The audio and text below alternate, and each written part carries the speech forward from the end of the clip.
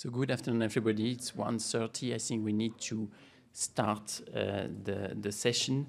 Uh, so I'm very happy to have you all here um, in person uh, for this extremely interesting session uh, about the portfolio of treatment for uh, tricuspid regurgitation.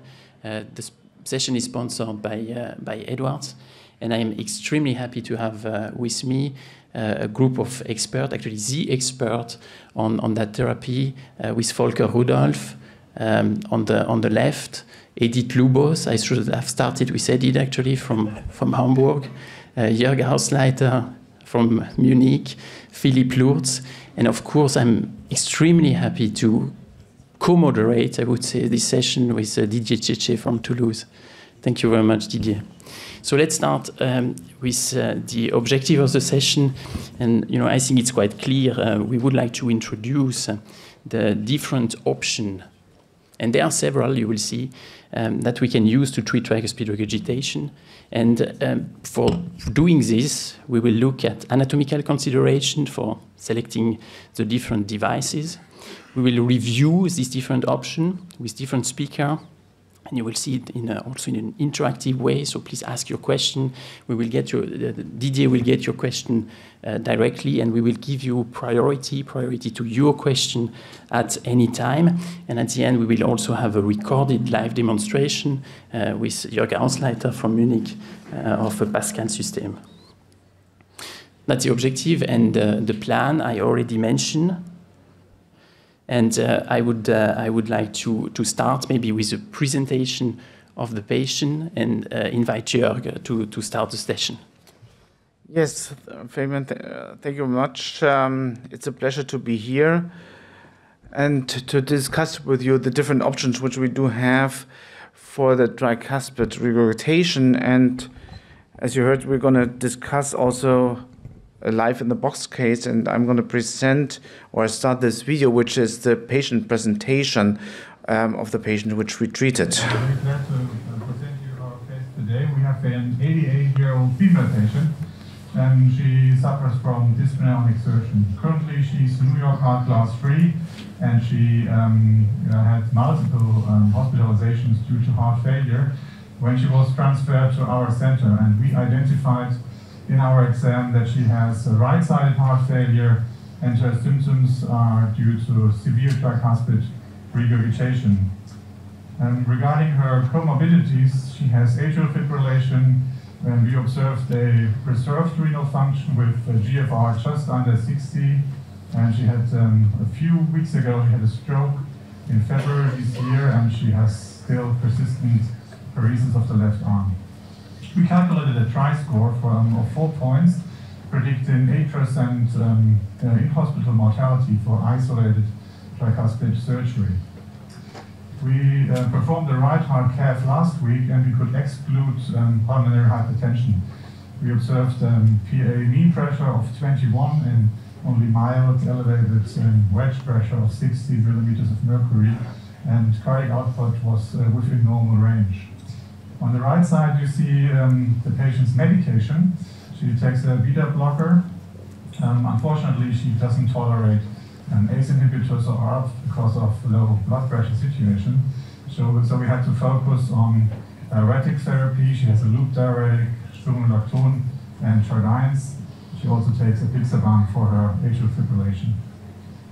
In the coronary angiogram, um, we could exclude significant coronary other disease, we observed only mild narrowing of the medial LAD, and right coronary was um, in, uh, okay, so nothing to intervene.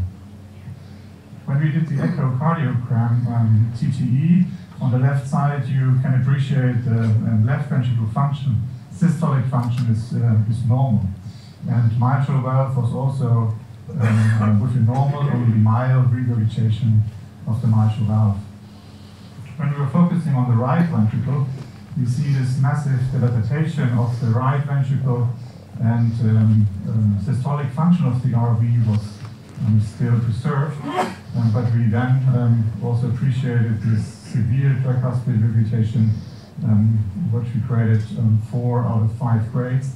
And we see the TE exam just in a few minutes during the procedure. So this is the patient presentation.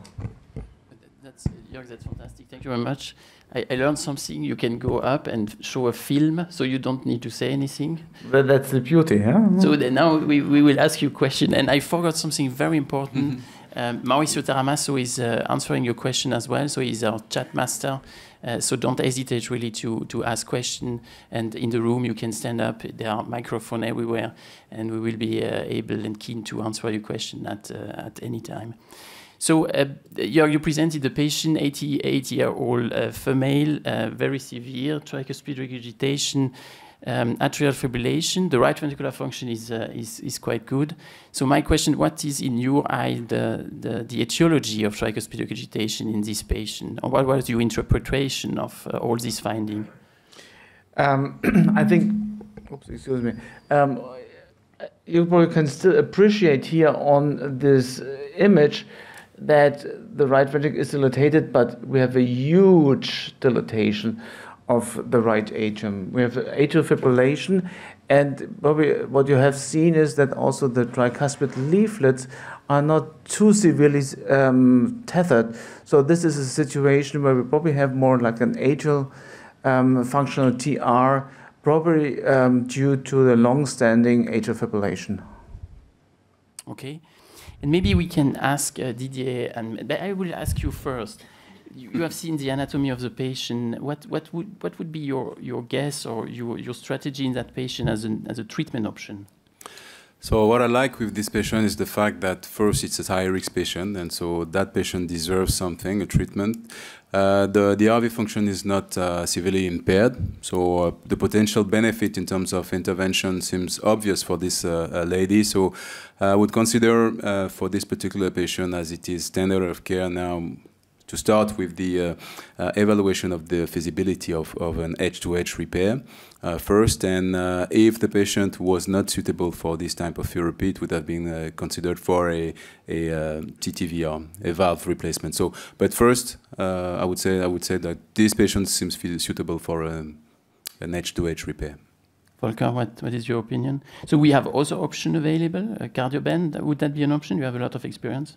Yeah, I mean, I would definitely say yes, but I agree that first of all, we would um, evaluate for edge to edge, uh, particularly given the age and, and the simplicity, uh, potential simplicity of the procedure. And um, and therefore, um, I, I, would agree, but I mean, Cardioband could be an option given that, as Jörg said, there's no tethering, and this is a, a really a good predictor to have a good outcome for Cardioband as well. Edith? Yeah, I, I totally agree. I mean, the kidney function is okay, so I definitely would also think about like a Cardioband option. But of course, 88 years, really sick patient, you, you would reduce the time of the procedure, and I would also definitely go for edge to edge. Also, that the medication is uh, so it's all all around, and uh, yeah, surgery is out, so definitely.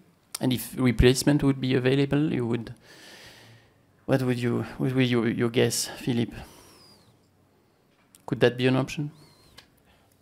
Um, yes, I mean we would have to to look a little bit closer on annular um, dimensions, um, do a CT, do a bit more planning. Obviously, um, it re requires more planning than going forward with edge to edge. But um, looking at it, it seems to be within within a range where um, replacement could be an option. Yes.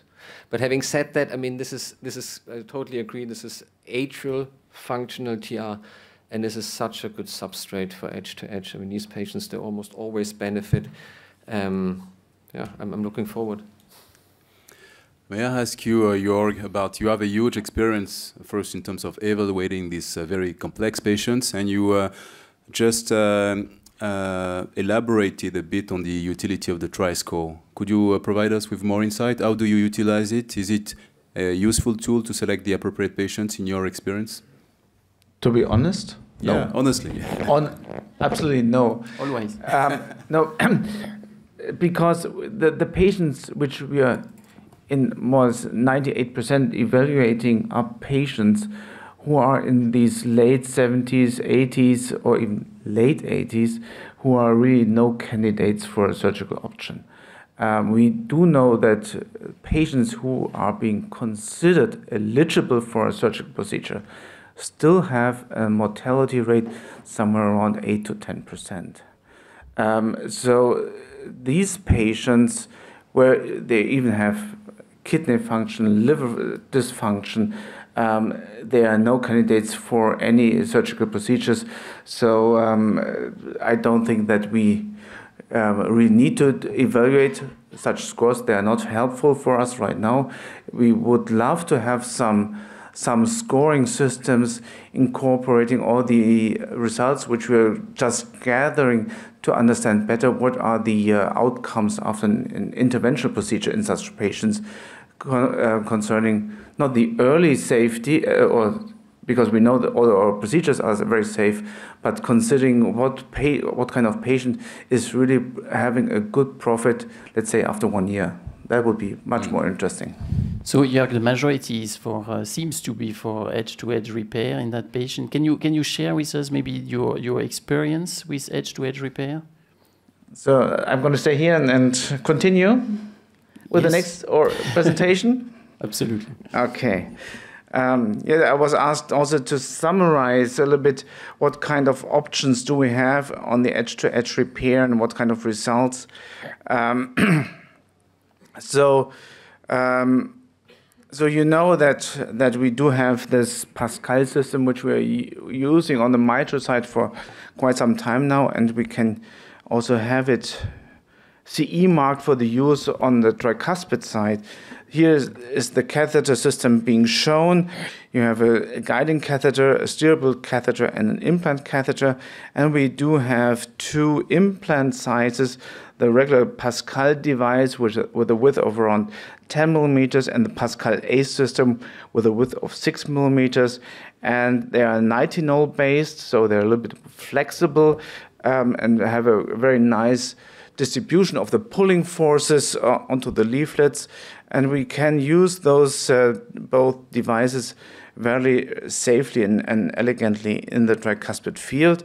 And um, we started um, about a year ago to collect um, data from all other, or for some other European sites um, to get their learning experience with the Pascal system in the tricuspid field.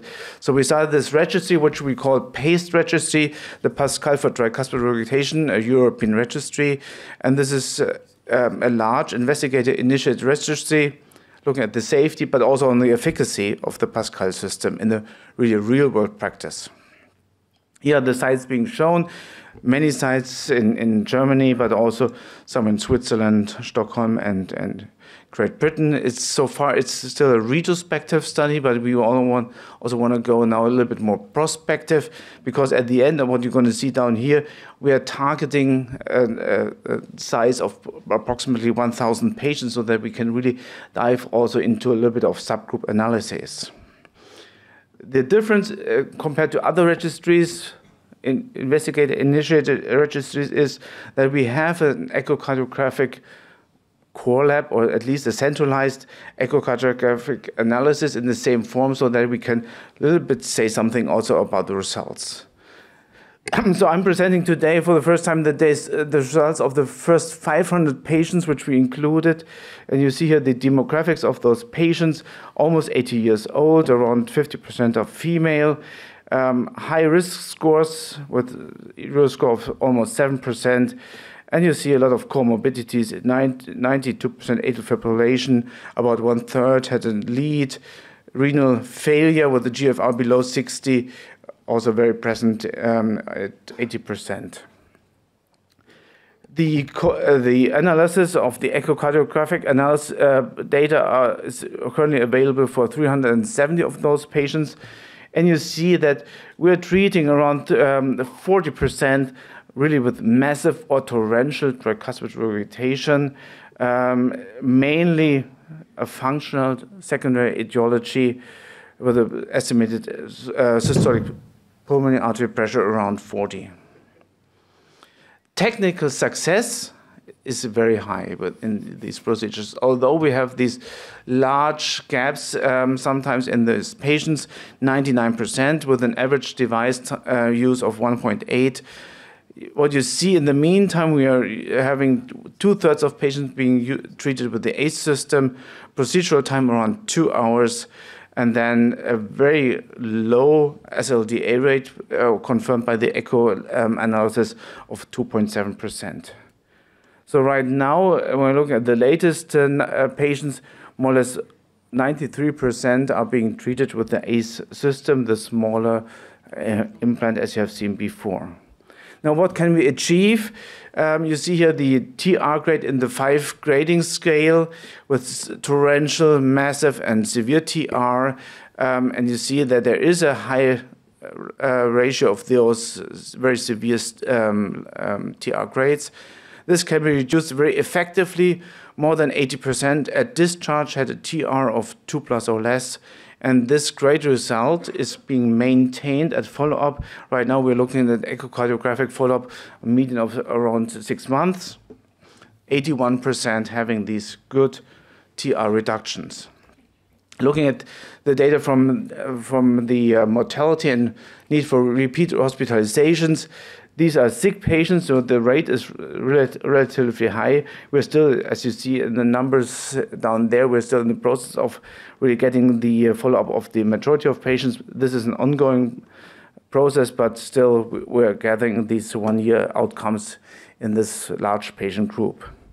What about the symptoms? Because this is the most important aspect for the patients which we're treating we see that about two thirds, and this is consistent with all the other um, registries and trials, at follow up, two thirds of all these patients are being in New York Heart Class 2 or 1, although the majority, vast majority, 90%, were in Class 3 or 4 before the procedure. Improvement in six minute walk test, decrease in body weight, which is, is being reported about five kilograms, which I think is pretty substantial and impressive. And we also see a, a little bit of drop, significant drop in the proBNP. So just concluding this a little bit, as you see, the, with the edge-to-edge repair technology as one of the three options which we can use, that this PASTE registry demonstrates as an investigator-initiated registry today the results what we can achieve, that the Pascal ACE system has a very high technical success rate and also procedural safety, although I haven't shown in detail all the all the 30-day outcome data, I have to admit. Efficient TR reduction, uh, I think we were able to show in this echocardiographic analysis is sustained at six-month follow-up.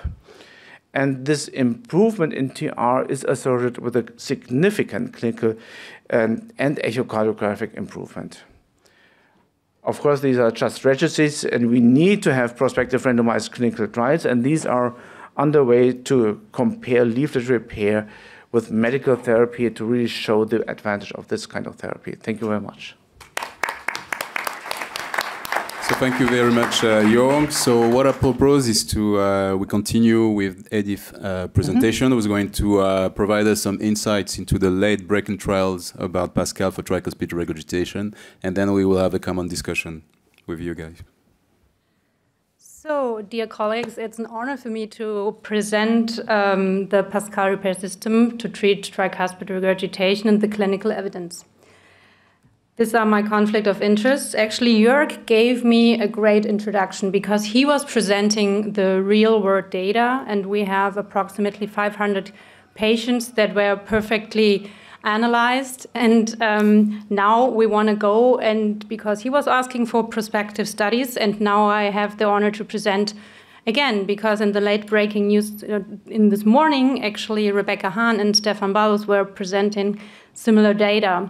Um, I just want to point out what are the, the differences, what are the same concept behind the CLASP TR study and the TriCLASP study.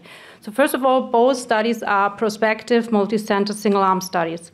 The CLASP TR study is mainly in the United States, and uh, the TriCLASP study is uh, German centers.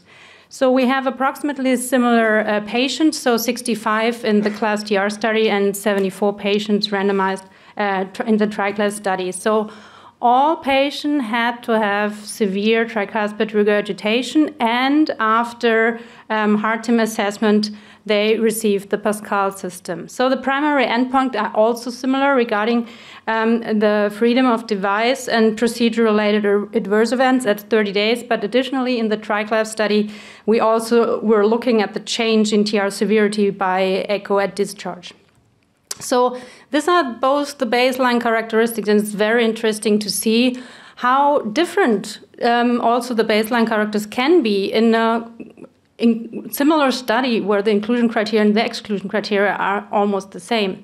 So if you look at the CLASP TR study, the people or the patients were 77 in mean, whereas in, in the German study, the TriCLASP study, there were 80. So they were older. Um, we have um, a higher STS score in, in the TriCLASP study.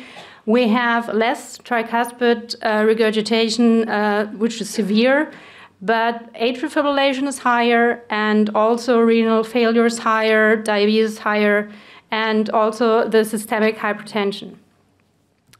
So um, looking now in, in, in, deeper in the device and procedural success, so what do we see in the CLASP TR study? We have a successful rate of 91%. Great. We have a clinical success of almost 80%, and uh, people, 95% were discharged at home. And what you can see, the length of the hospital stay is 2.6 days, which is incredibly low. Um, the device time was around 150, and 1.8 something devices were in mean implanted. So if we look now at the TriCLASP study, more successful rate, but similar clinical success. What is interesting and also different between both studies, the CLASP TR study has included Pascal and ACE, whereas in the TriCLASP study, just ACE was the device that this was used. And so what you were looking, the, the mean number is also similar, but the device time dropped from 150 uh, uh, minutes to 80 minutes. And if you look about the time frame, I mean, the CLASP TR study, we just got the data for one year, and now for the TriCLASP 30 days. So it's just a short time, and we were able to reduce definitely the de device time, but half of the time. And what is interesting in Europe, and I think this has also something to do with governmental and all the stuff, is that the length of the hospital stay is uh, 5.1 days. Um, so talking about TR severity reduction, um, which is interesting in the CLASP TR study, is actually that at 30 days, we we received like 75 patients uh, per percent for mild and uh, trace TR, whereas um, after one year, and I think this is because of the good data that we also have available regarding the right ventricle remodeling, that actually 86 um, percent of the patient reached moderate or lower TR. What is also important that 100% improved at, by at least one TR grade and 75 by at least two grades. And this is definitely something that is similar also to the PASTE registry, is that, of course, the patients have a huge profit regarding uh, clinical, functional, and quality of life. And this is definitely significant. So if we are looking at the TriCLASP study, um, actually, after 30 days, we reach 90% um, uh, TR severity with mild and trace, and um, which is a better result. Um, but uh, just 88% achieved uh, more than one uh, TR grade reduction. And but overall, 90% of the patient had less than a moderate TR at 30 days. So Regarding the major adverse events, um, what we are looking at the CLASP TR is the numbers, just to kind of compare with the other study is look at the bleeding. Severe bleeding we have at 30 days, which is kind of comparable, 77%. And this is the reason because of major access site and vascular complications. So the composite major adverse event is 9.2%, and after one year, 16.9%. So all cause mortality was after one year 10.8%. And we also have a single leaflet detachment, which is approximately 4.6%. So what are the difference with the TriCLASP is actually there is no, or just one patient had severe bleeding, so 1.5%. There's no major access site or vascular complication. The all-cause mortality is similar. Um, but the heart failure or hospitalization is lower, and there was no single leaflet detachment um, in this cohort. Um, so just overall, to say the survival rate um, when it comes to the CLASP TR study, because we just have the data for one year, we just don't have it yet for the TriCLASP study, is that we have a survival rate um, of 88% and a rehospitalization rate of 80%. And what is very impressive actually with that data is if you look at the, the right figure is to see what about the heart failure rehospitalization rate. And if you see at one year pre enrollment and after one year post procedure, there's a 56.4% reduction. And I think this is very impressive. So um, I would like to conclude. Um, for the CLASP TR study, one year results demonstrated that we definitely have a significant TR reduction. And this was sustained over a year even it was also increasing actually, and 86% of the patient achieved moderate or last year, 100% had um, a, a, one grade reduction and 75% uh, two grade reduction. So overall, of course, significant reduction in the heart failure hospitalization, an improvement in quality of life, in um, a six-minute walk distance. And I think regarding this study, we definitely learned a lot about patient selection, device procedure, as you really nicely can see also the, the time length of the procedure and how many devices should we use, which device should we use, how is the anatomy, etc. For the TriCLASP study, um, we have 97% uh, freedom from major uh, adverse events, which is great, and also the TR reduction is kind of similar, and also the improvement for quality of life and six-minute walk distance. So, thank you very much.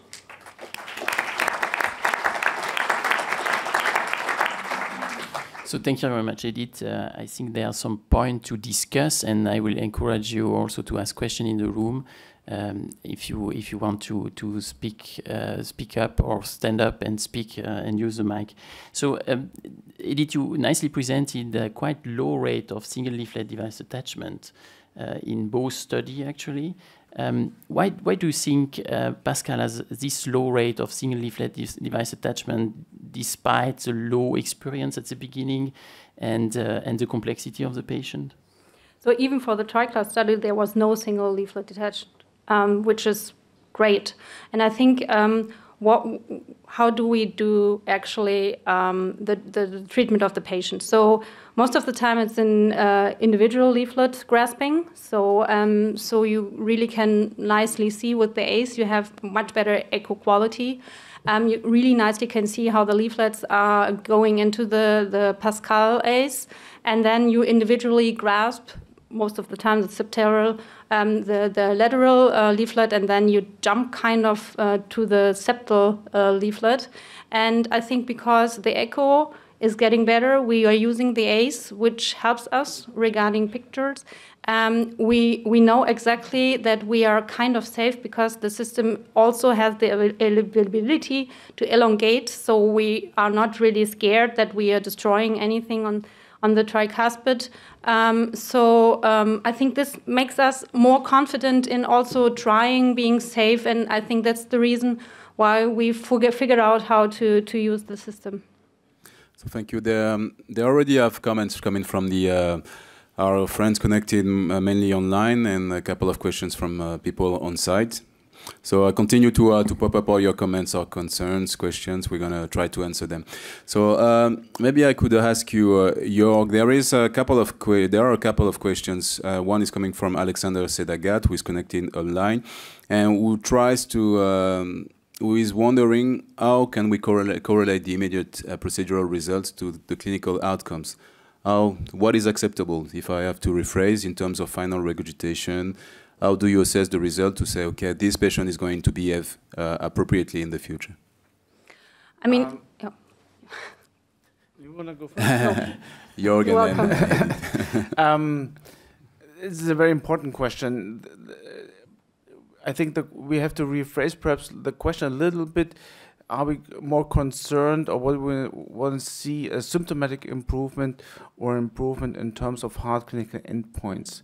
What we do know from our experience from all the other trials which we have performed so far is that already some TR reduction is translating into a symptomatic improvement.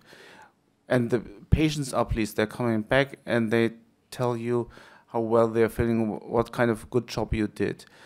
Um, on the other hand, uh, if we're looking perhaps at harder endpoints, although we're awaiting, of course, the, the, the prospective randomized trials, I assume is the more we can reduce the TR, the better will be the, the long-term outcome, the better will be the remodeling and um, all the other aspects. So we should try, if possible, to get to the lowest TR if, um, with an, of course, acceptable inflow gradient. Thank you for this, this very clear answer. So please. Uh, thank you, Barbieri, Fabian Berlin. Um, considering the patient you have um, proposed before, TR 4 to 5, would you um, grade a TR reduction to, for example, 2? Would this be a um, valuable result for you?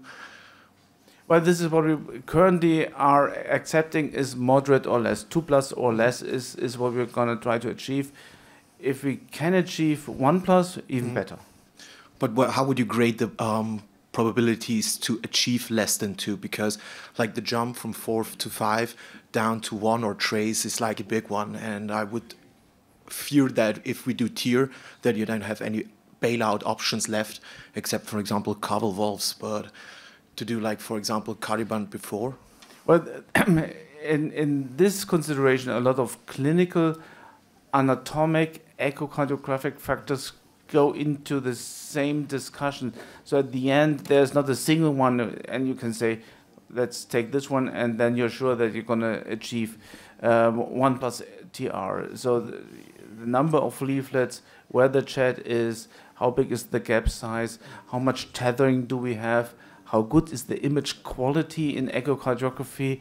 There are many, many questions um, um, which are really driving this result. So at the end, it's it's this mm. entire consideration.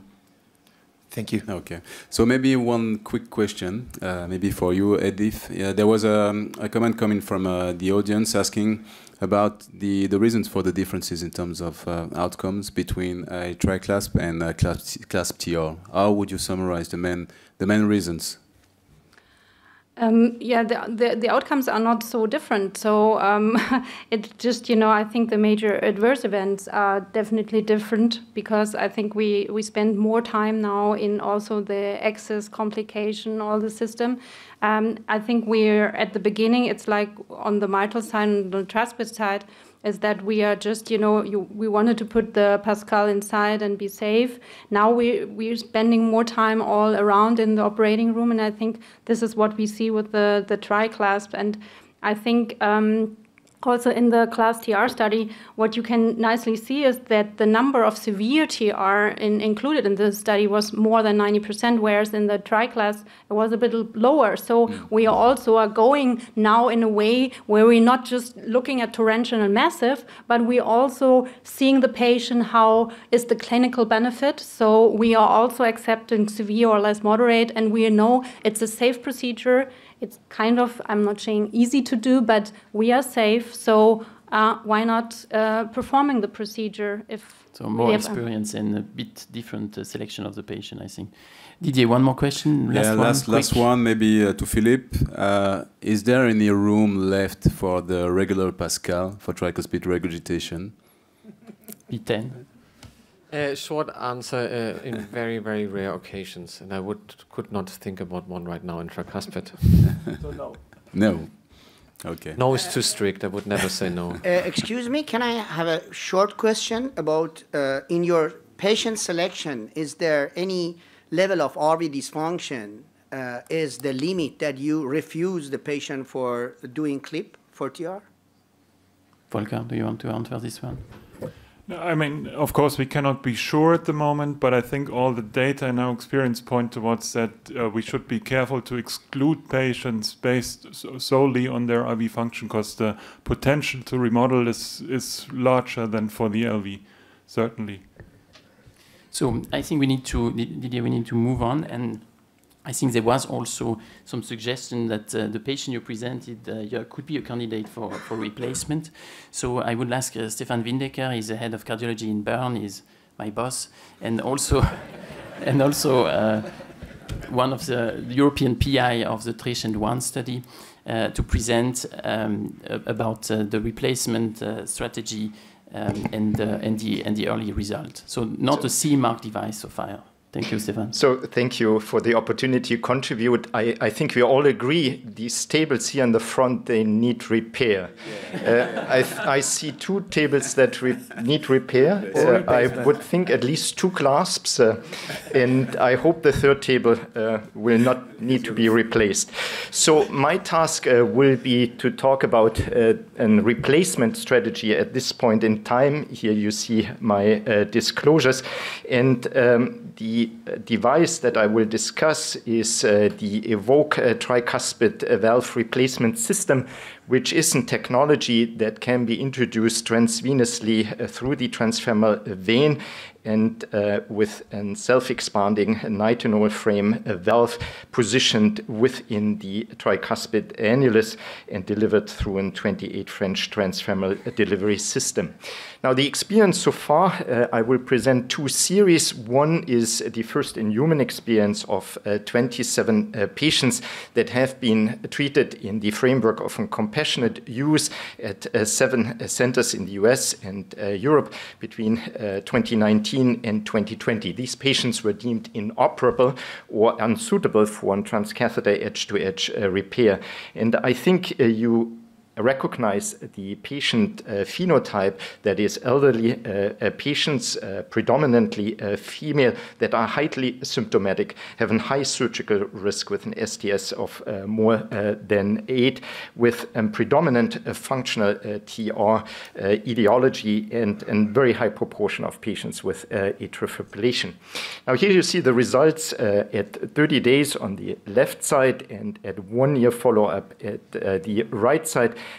indicating a rather favorable uh, clinical uh, outcome with no procedural uh, mortality and a uh, low mortality of 7% at one year. What you also see is uh, that the procedural success was 25 out of 27 patients. The device could not be implanted in one patient and required an additional treatment in a second patient.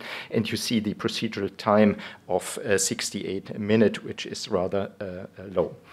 Now, uh, if we look at the TR severity, what is remarkable, and keeping in mind that one patient was not treated with a valve, then you see uh, that uh, the TR is none or mild in nearly 90% of patients. And what you also appreciate is some evidence of right ventricular remodeling over time, uh, over one year follow up, and reduction in uh, IVC diameter.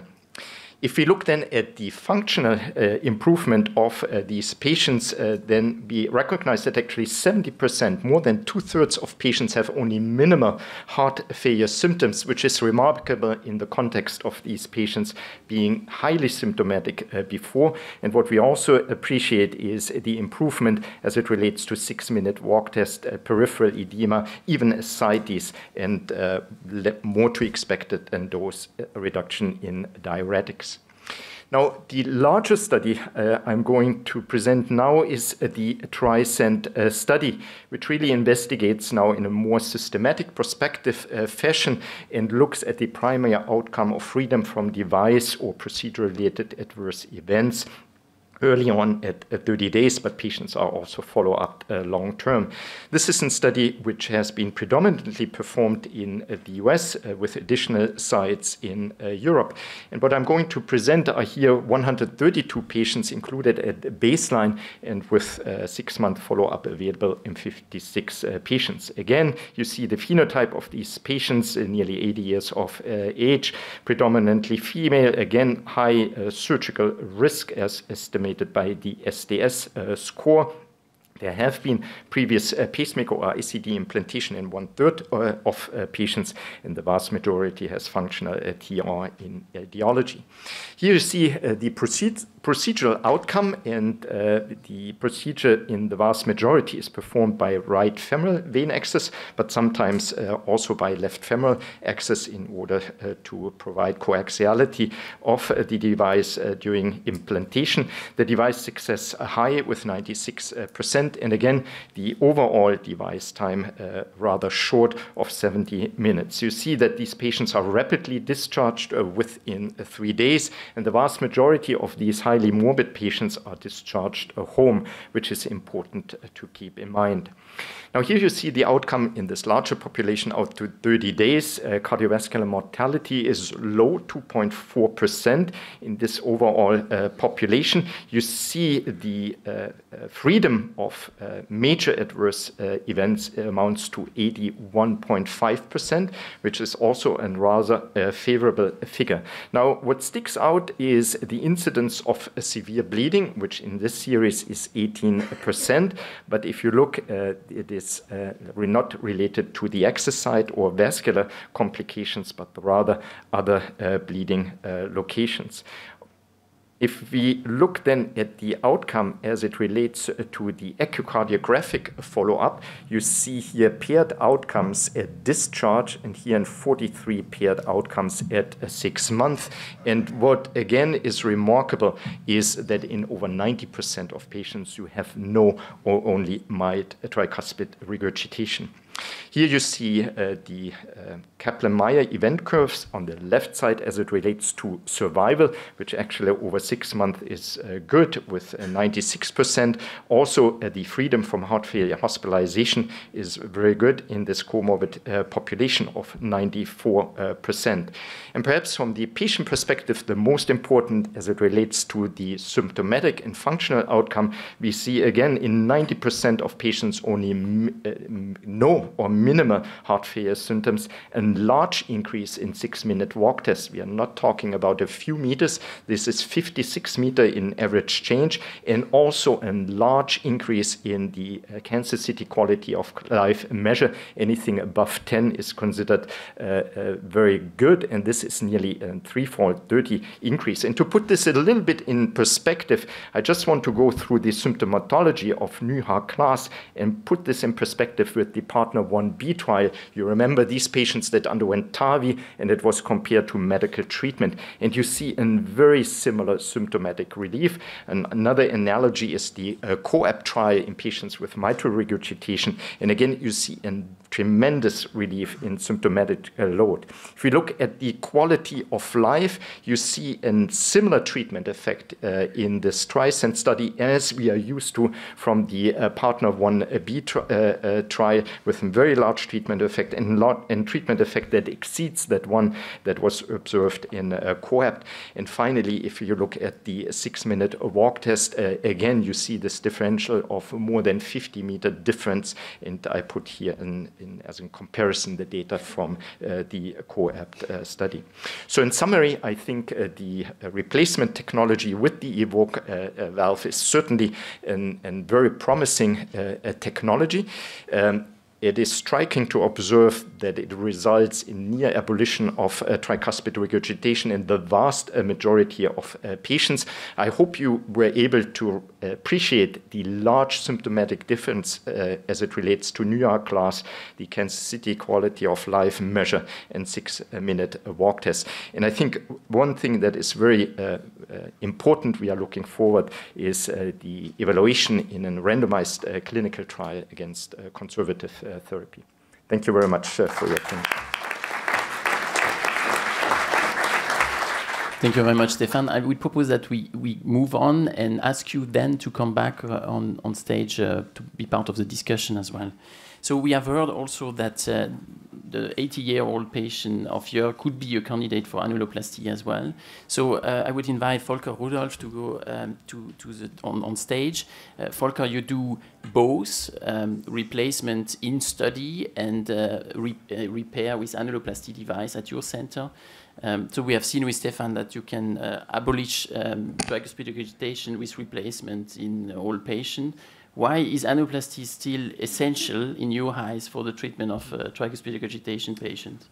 Well, thank you very much, first of all, um, for having me here. And uh, for this not so easy question. Um, but um, let me start with the pathophysiology of, of TR and this and, and, look at this very nice 3D data from Italy, where we see for um, acquired forms of TR um, that we have, of course, differences related to um, tenting, whether uh, depending on um, whether there is increased afterload, like in pulmonary hypertension or left heart disease. Um, and uh, we have no such tethering in atrial fibrillation. But what you can see that in either form of acquired uh, TR, um, annular dilatation plays a major role. So we and um, so by doing annuloplasty, first of all, what you do is you address the main problem uh, potentially of tricuspid regurgitation, which cannot be such a wrong thing.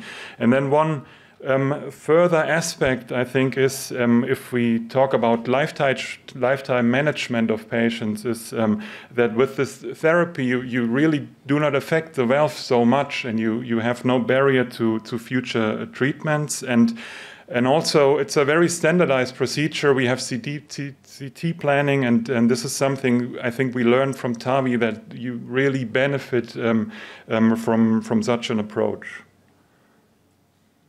What are, what are um, Volker, in your opinion, the differentiator of, of the cardioband system for the treatment of TR patient and maybe also some of the anatomic uh, selection criteria? Yes.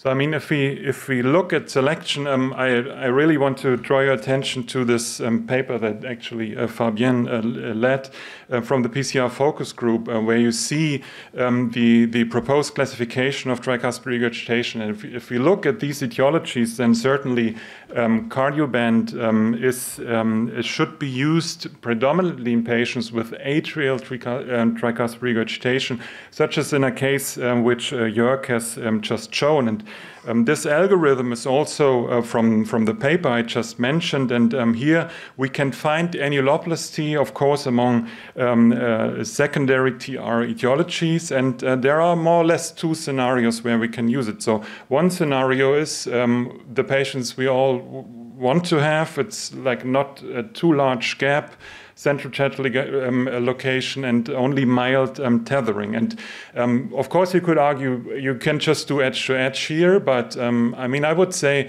annuloplasty um, on the one hand gives you in such patients a very predictable result. Um, you can be very confident that, that you go out with a good result.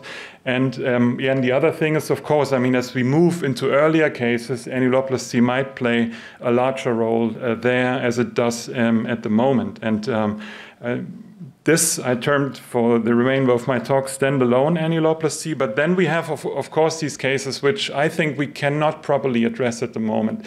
And um, we wrote here that in you know very advanced disease, large gaps, replacement is an option, but we know that um, um, many patients um, uh, get turned down because annuli are just too large. And here, um, I think we can extend the spectrum of patients we treat with annuloplasty. Also, we have to be fair.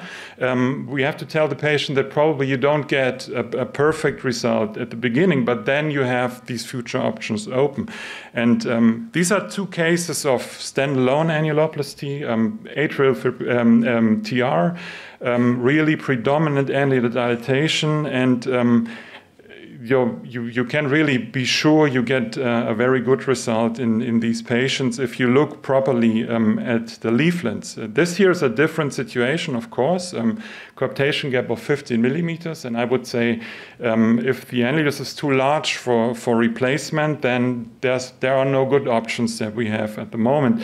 And this is what we um, discussed with the patient and said, okay, hey, we do um, a cardioband, but the result will pro probably not be optimal. And um, this is the, let me go back, this is the result at discharge. So you can see that the coaptation gap got smaller, but there's still severe TR. So we told the patient, okay, you probably might have to come back for edge to edge repair.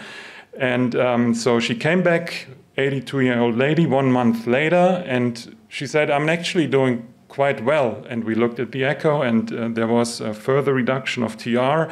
And so we just watched and waited. And after one year, um, TR uh, was almost eliminated. And um, I mean, this is also an answer to the question with regard to RV function. If you look on the left side at the right ventricle, you would say this is not a very good RV function. On the right side, we see a normal right ventricle. So this is um, something um, that is really amazing to us. So more in general with regard to patient screening, this is what we want, atrial TR. Um, this is, of course, more complicated um, if you have uh, so severe tethering.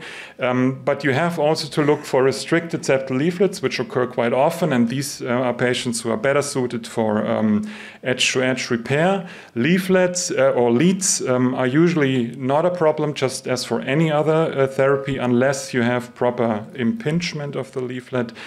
Um, and I I already mentioned we need CT planning, and what we look uh, for in CT planning is the annular size, of course. You want to cover the whole distance from the anteroseptal commissure um, to the distal uh, coronary sinus, and you want to make sure you have enough tissue for the anchors, um, just as shown here in the, in the left image. Um, if um, the annulus is too large and you can't reach uh, the distal coronary sinus, we know that um, efficiency goes down. And um, of course, if, uh, as an ex example shown here, there's not enough tissue between um, the um, the um, hinge point and uh, the RCA, then you, you will get uh, run into problems if this occurs at uh, too many sites where you want to anchor. So I think you have some data to share with us that has been presented this morning. Mm -hmm. So um, yeah, I, I, think this this was presented this morning. I just want to highlight a, a few facts that I think are really interesting. So uh, one thing is um, the complication rate. If you look at, I mean, particular mortality, there was a lot of discussion about RCA interference with this procedure. But if you look at 30-day mortality, it's it's zero. So it, it cannot be that bad, and this is our experience as well. If you look at um, uh, at the um, one-year survival of these patients, you see it's it's very similar to what we see um, for the other therapies, and certainly better compared to the natural cause um, of this um, disease.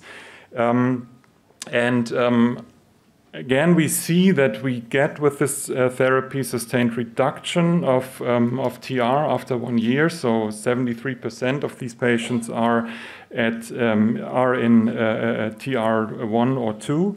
And um, we also get um, a really dramatic improvement of uh, New York Heart Association functional class with 92% um, uh, being um, in class 1 or 2 um, after one year. And, um, and you have your own experience as well you want to share with us. yeah. Correct? So this is the data from, from our center. Um, we have now, I think, 68 cases, um, and this is data from 63 cases. And um, we, we see that um, we treat patients who have really severe TR, so massive and, and, and torrential in 72% of cases.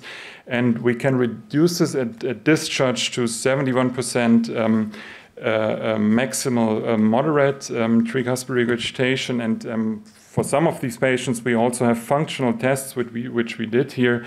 And um, as you can see, we, we, we get an increase in, in six minute walking distance, which is really substantial. And also, and this is really um, a very um, valid parameter, it's submaximal exercise duration. So patients have to do the test twice. So you, you first test for maximal um, uh, uh, exercise capacity and then you, you, you see how long they can stay on submaximal exercise. And this is, gives you a measure of how well they will do um, during their daily routine. And, and here we see a significant improvement with a very low number of patients as well. As well. So, um, I mean, really to summarize, um, I think you saw the data which show it's a safe procedure. It's a, it's a procedure that um, can, can help us to um, extend or expand the spectrum of patients we can treat. I think we should, we should not think that um, one therapy will fit for every patient in TR. Um, and it's great to have um, more than just one option. And I think um, annuloplasty will play um, a role there, particularly at the moment if we have extensive um, annular dilatation. So thank you very much for your attention. Okay, thank you very much. I think we have uh, we have time for a discussion. Uh, Stefan, would you uh, come come and join us?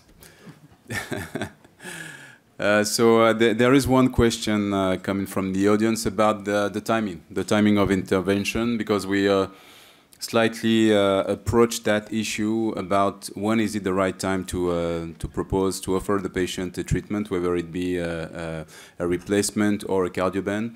Uh, do you uh, believe, let's, let me start with you, uh, Stefan, that for replacement, there are certain patients that are not good candidates. It's too late in their uh, the, the story of their disease to uh, to expect a good outcome. How do you believe that we could treat any type of tricuspid regurgitation at any stage for any patient? Yeah, I, I, think that's a very important uh, uh, question. And I think, unfortunately, at this point in time, we probably see patients at a very advanced stage of uh, the disease because the awareness uh, is not there to send patients for uh, e evaluation of an intervention at an earlier stage. I think this is an evolving field, a little bit in analogy to what it may have been in, in with TAVI uh, 10 years ago. having said this, um, I think uh, patients that have a life expectancy that is less than one year patients that have comorbid conditions uh, that are more important than the tricuspid regurgitation. Uh, patients that have another factor that comes in, they certainly should not be evaluated for the therapy. But otherwise, I think there is no reason uh, to withhold uh, the uh, therapy at this uh, point in time. I think the field will be very quickly informed by evidence from randomized clinical trials, and I would believe that if we see a survival benefit that is analogous to what we have seen in TAVI versus medical treatment, then the question, it will be much easier to convince everybody that you should uh, move actively forward. As it relates to the replacement, I think we still need um, lots of evidence, uh, I think in two directions. Uh, one is uh, what is the optimal antithrombotic regimen and, and how long? And uh, then the second one, we certainly also need to understand, uh, just as with uh, other valve uh, types, uh, the uh, durability. But the same applies also to the repair techniques. So let me bounce a bit on the issue of the the appropriate anti-thrombotic tr treatment, and then I will hand over to you for your question. There is one question coming from one of our friends in the within the audience about the the treatment regimen, the anti-thrombotic treatment for patients after EVOQUE Yes. So I think uh, uh, the patients need to be anticoagulated. And uh, I think at this point in time, we don't have any evidence to suggest uh, that you should use uh, either vitamin K antagonists or non-vitamin K oral anticoagulants. However, I think uh, if you look a little bit at the data that are available in the TAVI field, you look at the Atlantis trial or you look at Envisage TAVI, where actually the VKA uh, uh, were rather favorable in those that had an indication for oral anticoagulation. I clearly think uh, that an, an, VKA is probably at this point in time what I would uh, do. I think, though, there is a lot of potential potential for the future. And we have now the advent of factor 11 inhibitors. And I think the, the limitation we have in these elderly patients with bleeding complications, I really look forward to, uh, to evaluate that at some point in the future. Okay, please. It's just, I, I like a, um, I'm sorry. I'd like just a quick comment on this. I'm, I'm particularly fond of the idea of uh, repair of, of valve repair, generically speaking and uh, we now have very interesting solutions to offer to our patients. And um, and I've also been looking at the uh, workflow you were showing before, saying that certain patients will be candidates for TEER uh, or for annuloplasty, and then we have those patients which have a group of characteristics which make makes them unfavorable for these sort of therapies. And usually, those patients are actually in a, a more advanced stage of disease, and we're usually educated to the fact that the uh, the right ventricle handles very badly a huge uh, change in, in pressure balances. So I'd like to hear your comment on, for these patients, which usually have large volume overload, that have high uh, pulmonary pressures, if we reduce suddenly the, uh, the amount of regurgitation to none or trace, how how do you how do you feel that most patients uh, will handle this, and how can we improve patient selection for those? And just a quick second comment on that uh, bleeding results you showed for EVOQUE. So you, showed something like 17%, if I recall, and they're not much related to the procedure itself. So how do you explain this? Thank you. Okay, so first question about the uh, the fact to uh, to go from uh, torrential to zero regurgitation in very uh, frail patients with a end stage disease, extremely uh, depressed right ventricular function. Maybe Philippe, would you try, would you want to to address that? maybe we start with clinical um, reality. We don't see right heart failure in repair, so that, that's full stop. Um, in replacement, it will be certainly more interesting and, and more likely that it could happen. Um, we see sometimes that the RV function drops but recovers, as also shown here in that case. So there's certainly a potential for remodeling. And then your comment about RV pressure and RV dilatation, I do agree when you have a very dilated RV and you add some degree of pressure that they, these patients might be at higher risk. But when you have an RV operating already at a pressure of 60 or 70 millimeters of mercury, why should it be a tremendous problem if you add another three or four or five millimeters of mercury? So I would be more worried maybe in those very dilated RVs operating on a low pressure because they cannot generate any pressure anymore than those who operate on a high pressure. And just to uh, quickly uh, uh, comment on this point, I've treated patients so, uh, with the EVOQUE system. It's really impressive the way they behave. You, you uh, let them go with zero regurgitation, and there, uh, there is almost no hemodynamic compromise. So we have something that is really, really impressive. A very short answer about the bleeding. What was the reason, the reason for bleeding? Yeah, I just want to comment on the right ventricle very, also. Very um, shortly. Yes, I, I, think you should not forget the septum. The very RV briefly. is part of it, uh, but uh, a large part of the contractility also comes from the septum.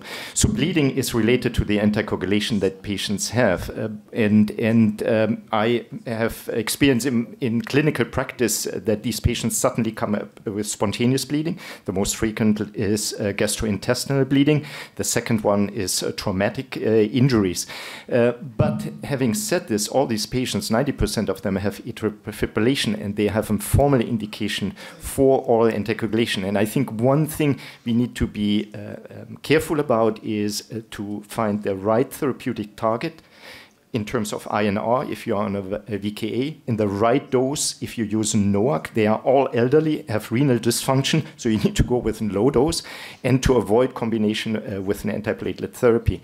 And again, I'm coming back to my hope uh, that maybe factor 11 will contribute maybe. to a better profile. So I guess you have one question for Volker, and then yes, we Volker, need to just one quick question. Uh, the surgeon are doing annuloplasty and edge-to-edge -edge treatment. Um, so we have this uh, opportunity as well, uh, doing Cardioband and Pascal. Is that something you are doing? Is that uh, in which situation that could be a good option?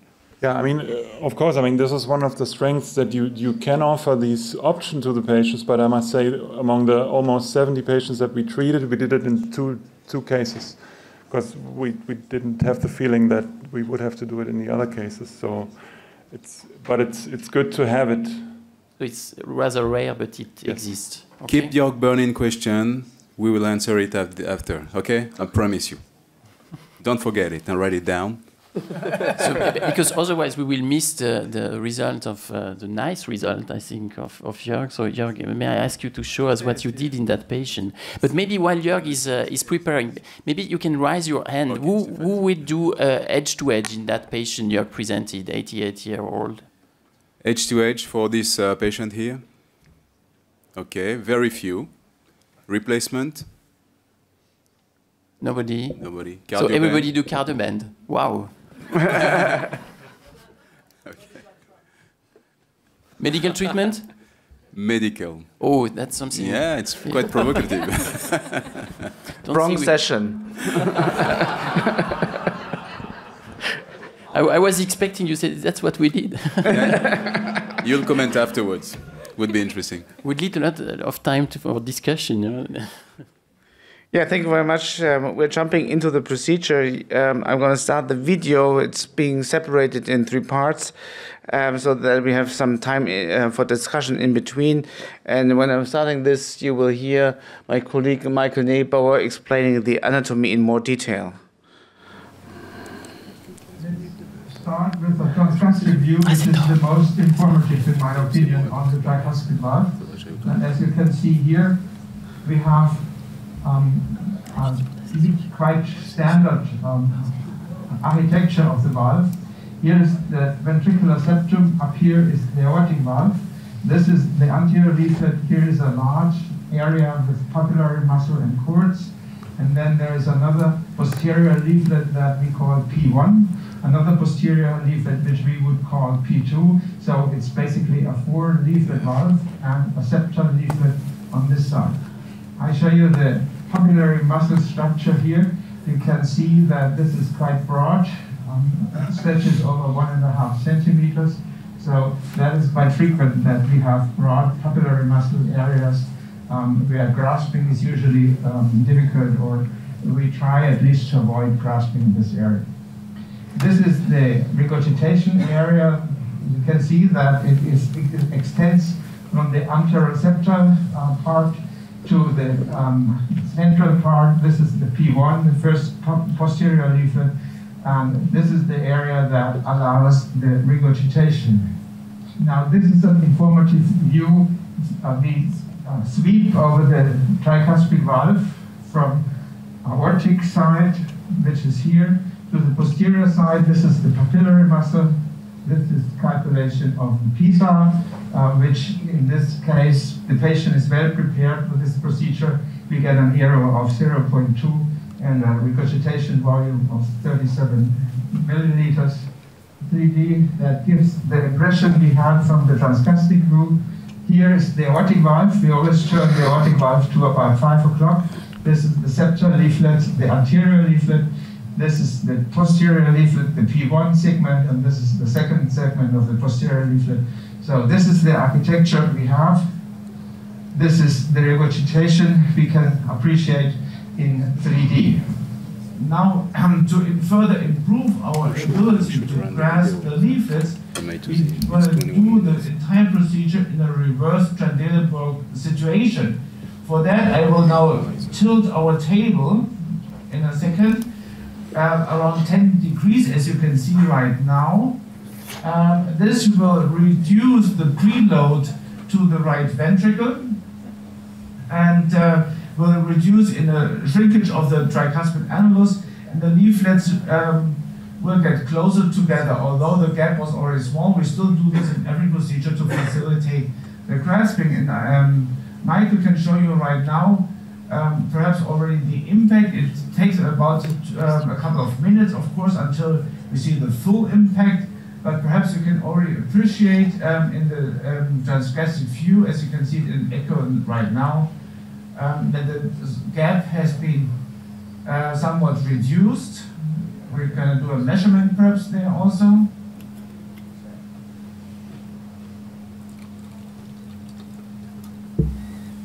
Now the gap, which um, is, is reduced to something even below two millimeters at this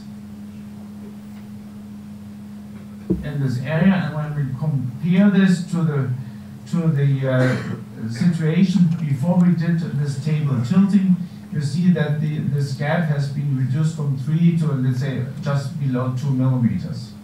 Every millimeter in, in gap reduction facilitates our procedure.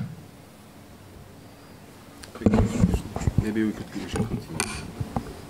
What do you want? Do you want to, us to discuss? If you want to discuss, we can discuss it right now, but we can also continue as you want. Yeah, I think we need to continue because we are Okay. a bit late.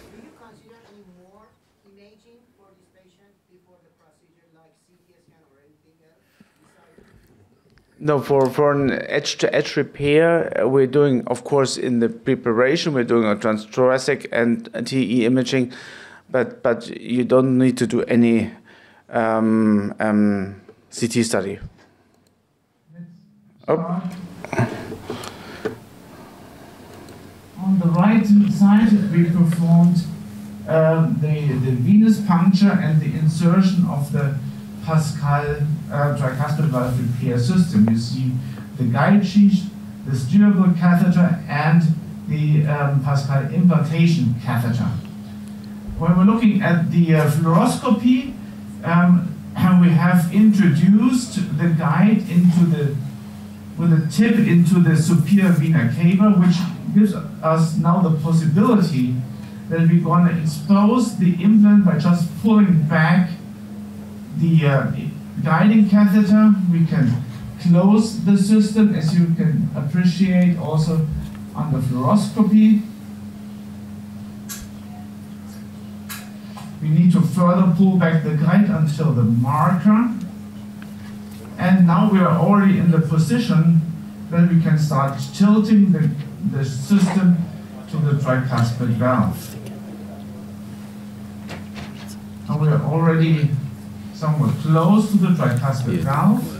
And now we can reopen the system and do our adjustment so that we are perpendicular to the tricuspid plane at the site where we want to treat this tricuspid regurgitation. We are planning um, a two, proce- two device um, procedure, probably with one device going, the first one going into the anteroseptal line of coaptation, and the second one probably between the P1 segment, which you have seen before, and the septal leaflet. We're checking the, the, the clasps, so this posterior slider is working as you see the septal leaflet, so that we know if we're gonna need some adjustments in the uh, in the uh, leaflet grasping, then we can do this adjustment very easily. Now in 3D, you can appreciate already our location. The anteroseptal line of coaptation runs into the 5 o'clock position, um, close to the aorta. We are in the central position of the eight, um, line of coaptation so that we have a maximum effect on the um, remodeling of the tricuspid annulus. This is a, a very rough estimation of our position. We will now change from this 3D view into the transgastric view um, to do our fine adjustment. You see the white big uh, round structure, which is the anterior papillary muscle, and we want to just be um, below this anterior papillary muscle, as you see in this um, with the with the um, in the left image, where the device is still on the, in the right atrium, but we are very much uh, very close to the position of the anterior papillary muscle in the central part of the um, line of coaptation. We are well orientated, and I can now move into the ventricle in this position, which I can also appreciate in the right image. And now what we're going to do is that we're going to grasp first the anterior leaflet. And you will hopefully see this in a second, that this is getting immobilized. Right now you see that the anterior leaflet is immobilized. And we can just put down the slider right now so that we have um, grasped the anterior leaflet in this position. Now what I will propose is that we're going to switch back into the deep esophageal view. This is the view where we then will um, grasp the septal leaflet. We swing very much over as much as we can to the septum so that we have a long segment of the septal leaflet in the device. Now I will reinsert our device into the right ventricle and we're going to grasp the septal leaflet I swing over as much as I can in this position. The septal leaflet is nicely on, on the Pascal system and now we're going to close also the septal slider And now we're going to reassess our leaflet insertion so that we're really sure that we have grasped the leaflets ideally. What you're going to see is that we're going to sweep in and out of the device. You see how deep the septal leaflet is running into the apex of the Pascal system. And also the anterior leaflet is going very deeply, so I'm gonna now close the, device fully in the next phase. Okay, let's, you see that we have a nice tensioning of the leaflets and that the um, Pascal system stayed very close to the septal, um, septal hinge point. So I think this already looks pretty good. We can perhaps just add the color um, Doppler here so that we can appreciate perhaps already some reduction of the TR and that there is no TR left between the device to the aortic valve. This looks pretty good. Perhaps we're going to reassess this also in the transgastric situation. Now we see in this transgastric view very nicely that we are just a little bit above the upper muscle. You can see how the anterior leaflet runs into the device and the septal leaflet. We are very perpendicular to the line of coaptation. And perhaps if you're going to add some color Doppler flow, we can also see that there is already a significant reduction of the TR. There is still some um, TR left between the P1 segment and the septum. And this is probably something we need to address with the second device. So I think from, from, our positioning and also from the TR reduction as well as from the leaflet insertion, um, this first grasp appeared to be very successful and we still have enough room, which is also a major consideration, to place a second device um, just just below the first one, which would be in this transgastric view, just opposite um, above the Pascal as you see it right now. And now I will unscrew the device from the implant catheter. Now it has been released. Now looking by fluoroscopy, we have a very stable positioned Pascal device in the anterior and septal line of coaptation. And by echocardiography, you see that our position and the TR reduction has not changed from what we have seen before the release. We will now prepare the second device and then we're going to treat the residual TR in the posteroseptal segment. Measured also the, the inflow gradient, which you see by echocardiography. The maximum gradient is 2 millimeters of mercury and the mean gradient is even 0 millimeters of mercury. So we do not have any significant obstruction of the uh, blood inflow into the right ventricle.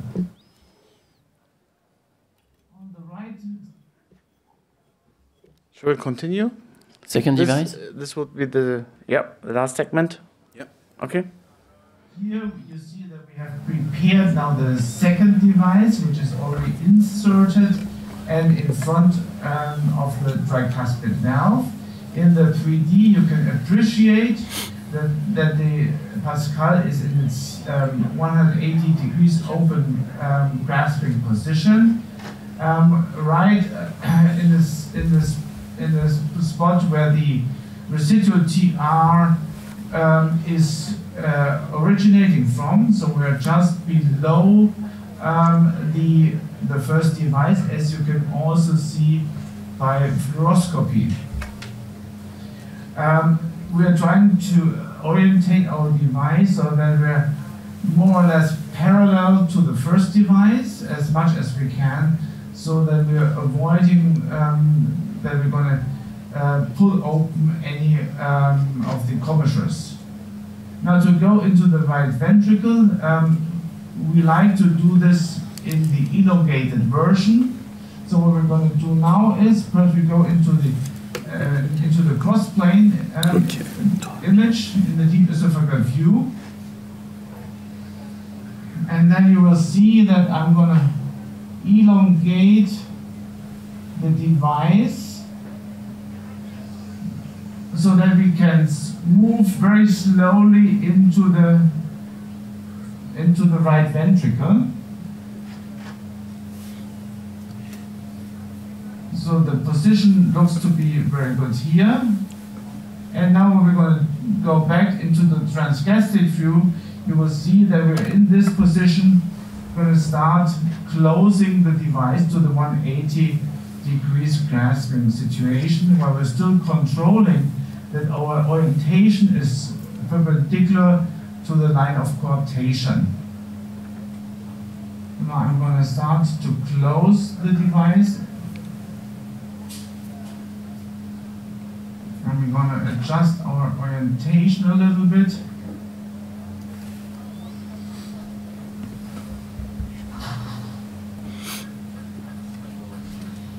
You see in the left transgastric view the, the device.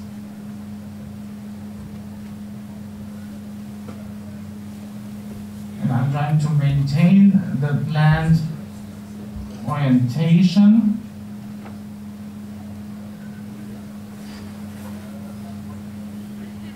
Now the device is already in the 180 degrees grasping position. And now we need to orientate the device so that we can optimally uh, grasp the leaflets in this position. So as you can see in the uh, left transgastric view, we have positioned now the device so that we are perpendicular to the line of coaptation between the P1 segment and the septal leaflet. We're still in the deep in the right ventricle, and now I will pull back the device so that we will grasp the septal leaflet, uh, the posterior leaflet first, which we have obtained right now. You can still again appreciate how deep the posterior leaflet is inserted. We're going to close the clasp in this position here again. And now what we're going to do is that we're going to try to move over to the septal, septal leaflet. And again, I think we're going to switch now to the um, deep esophageal view so that we have a better view on, on the long septal leaflet. And now you can appreciate in the right image that the posterior P1 segment is very nicely um, introduced into the Pascal system. And now we have a very long septal leaflet there. We're going to try to get this as much as we can into the Pascal device. It's a little bit rolling there, so we have to be careful that we're not having a device, a septal leaflet, which is fully rolled in. And now it's very long, and we try to close now the septal, septal Pascal in this position. And I'm closing the device. You see how much tensioning we're getting in this position. And now we will re-evaluate our leaflet insertion and the TR by, by echo. The leaflets appear to be very well in. We can perhaps add the color flow first in this view, and then we're going to move in the transgastric view where we can also appreciate Nice. the color flow. So there is currently no TR, no residual TR left. I didn't believe it. Swap into the transgastric view, which will allow us to check our device position and also get an understanding of the of the residual TR in this view. So device position, I think looks good. You see the anterior papillary muscle on the left side. The first device which is just below, and the second device which is orientated now a little bit in a V shape, and there's almost no TR left um, between the two devices. A very tiny jet there, but compared to what we have observed before, I think it's a very good TR reduction. We're going to check the gradient, of course, uh, before we're going to release this second device. Usually the tricuspid valve is so large that even with two or three devices, it's very hard to obtain a significant tricuspid valve gradient. We are trying to avoid a, a mean valvular gradient above 3 millimeters of mercury. You see that uh, this patient is in anesthesia, she is very bradycardic. So we're going to truncate our assessment probably here, as we have obtained only a mean valvular gradient of 1 millimeter mercury, which is very, very acceptable. Before we go to release, we can also check by, by fluoroscopy. You see this little bit of V-shaped orientation of the two devices, and now I will continue with the release of the second device. And now by fluoroscopy, you see that the device has been released. We are in a very stable situation of the two devices. And now we can also appreciate our 3D echocardiography. This is the 3D color flow. You see in blue the inflow into the right ventricle, but no residual TR um, in this patient. We can confirm this also in our uh, 2D view with a cross plane, which is a little more sensitive to the uh, to the color flow. Also here there is almost no TR left. And now we're going to undo our reverse Trendelenburg into a normal situation where the patient is flat, the table is flat, and then we can confirm that even in this position where we're now having a backflow of the of the venous blood into the uh, right heart, that even then our tricuspid rotation maintains with a still very good TR reduction. We can okay. summarize that I think we can stop here.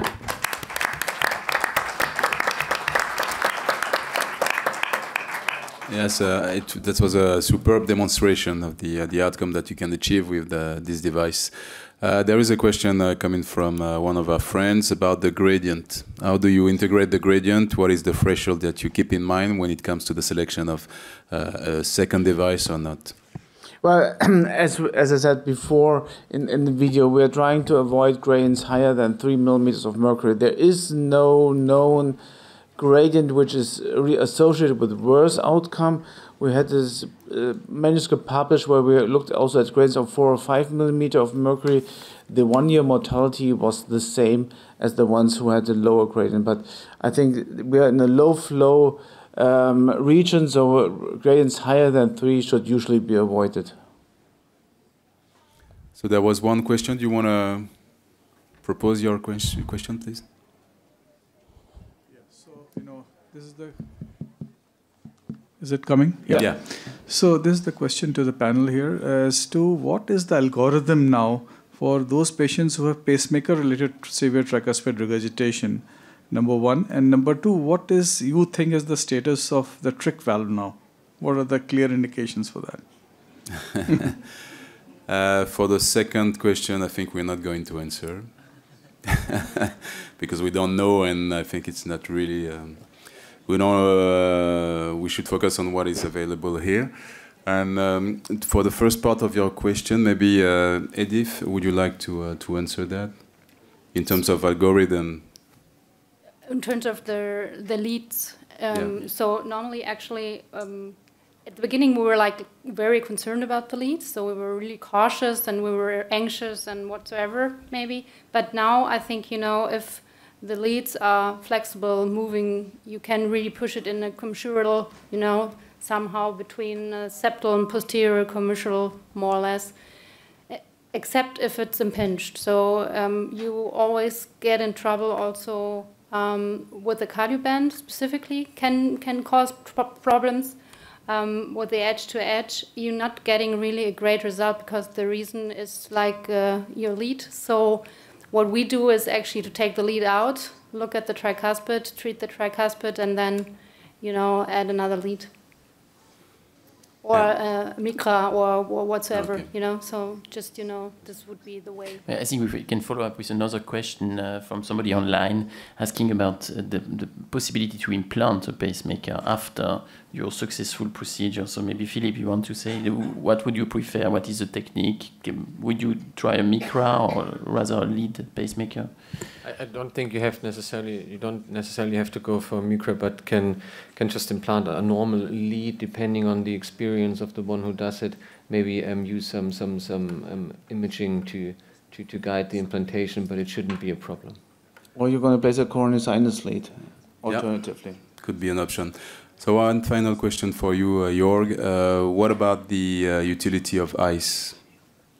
Well, that's a very good question. Um, we looked a little bit into that. The regular 2D ICE is probably um, not very helpful. Um, there are new ICE probes out there with 4D ICE. Um, they they appear to be a little bit better, but still the best image quality we're still getting from from the TE. And if we can use this, then we're pretty happy. But for patients where we have limited resolution, it might be helpful. Jafar? Uh, thank you. Uh, you really did get beautiful images, so congratulations. Uh, two questions. The first, do you always do your your first grasp in the in that short axis deep gastric view? Or do you, you find that move helpful, or do sometimes do both in the mid esophageal? And the second, I feel a bit of a contrarian to argue with a perfect result, but the to my eye initially most of the coaptation gaps seem to be between that very large p1 scallop and the septal leaflet did you consider just trying a one clip strategy and would anyone else on the panel maybe consider that just between p1 and the septum in this case One, one P10. Um, so um, the first question was about image quality and no the. Uh, just do you do you, you know you for, for grasping you grasp the anterior leaflet and Yeah. then the Ah, posterior swing over, leaflet yeah. in the Yeah, short yeah, axis so- sorry, yeah. Um, it depends really on the image quality. If we have such a beautiful image quality as we do it here, um, then I think it's very helpful because you already know how much you're in the center with your device. We would like to be very close to the anterior papillary muscle so that we have a, a central effect when we're pulling on the leaflets. Um, but yes, sometimes we're also grasping the leaflets in a deep esophageal view. Um, using one or two devices, this is a, also a very good, important question. Um, I, we, I think that um, in such an anatomy, when you're having a pulling force on the anterior as well as this large P1 um, segment, then you will get a better remodeling of the tricuspid annulus, which in the long term might result in a better outcome. Um, in terms of TR reduction, it can also be that just one device is good enough. I fully agree. But then going in with the second one into the anteroseptal line of coaptation is doable, but then you get much more shadowing. That it makes the procedure a lot more complicated. Thank you very much. Yeah, okay. we need to conclude. Thank you to everybody for attending the session, to the panelists. Um, the last word are yours, Yeah, so uh, I think it's very simple to summarize because uh, we did um, learn a lot about uh, the patient selection. The fact that we now, for tricuspid regurgitation, we have a quite large portfolio of available or soon uh, available uh, devices. Uh, so it's all about understanding the uh, the mechanism, the anatomy of the patient, uh, avoiding these futile patients, and then uh, tailoring uh, the therapy to uh, to the, the to the anatomy that we have. And uh, for the time being, edge-to-edge repair can achieve excellent outcomes. We've seen that with the uh, the recorded case.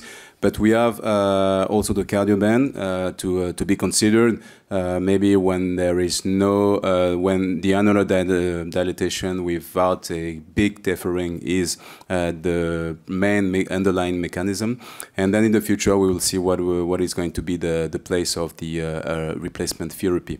So having said that, I would like to uh, to thank you, thank uh, all the uh, the speakers, the panelists for the quality of the information that you have provided uh, to us uh, today. Uh, thank you for sharing that session you, in such a beautiful way, and thank you for Edwards uh, for hosting such a, a nice session. Uh, if you want to uh, learn a bit more about uh, now a different topic, bicuspid valves, uh, stay tuned. You can stay within that room. This is going to be the next session. Thank you.